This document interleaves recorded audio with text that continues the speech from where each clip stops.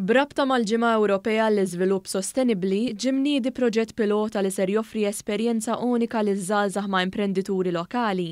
Il-proġett, li hu l-ewwel tat-tip tiegħu, ser jibda fil-lokalità taż-Żurrieq, fejn żgħażagħ li huma interessati fl-imprenditorjat jiksbu kuntatt dirett ma' imprendituri f'oqsma li huma interessati fihom. B'hekk ideat ġodda miġjuba miż-żgħażagħ ikunu maqsuma ma' imprendituri li se joffru l-għarfien u l-esperjenza tagħhom ma' dawn iż-żgħażagħ.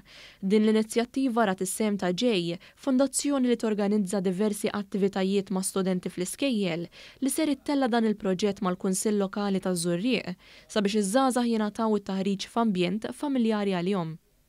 Vantaġġ enormi huwa li ħa jkollhom li hu ħa jkollhom direct contact. Jiġifieri jekk eżempju hemm student imħajjar jidħol ehm, hospitality jew manufattura jew services, ħa jkollhom direct contact ma' businessman li ovvjament jiġi minn dak is-settur.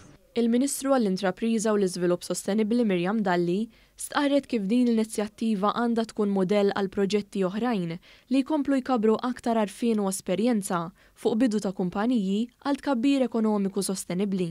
U ddeċidejna li ngħaqqdu dawn l-istakeholders differenti biex ikollna imprendituri ta' esperjenza li jistgħu jiggwidaw lil żgħażagħ li għandhom ideat fil-qasam imprenditorjali b'mod partikolari f'dan il-każ fejn tidħol is-sostenibilità. Barra minn hekk, fil-Ġimgħa Ewropea għall-Iżvilupp Sostenibbli bejn l-20 u s-26 ta' Settembru ser jittellgħu għadd ta' inizjattivi oħrajn minn diversi għaqdiet dwar is-sbatax il-mira maħruġa mill-Ġnus Magħquda. Fost l-inizjattivi ser jittellgħu kampanji t'għarfien, pjattaformi online minn kumpaniji bi prodotti sostenibbli u sessjonijiet gwida dwar l-istess oqsma.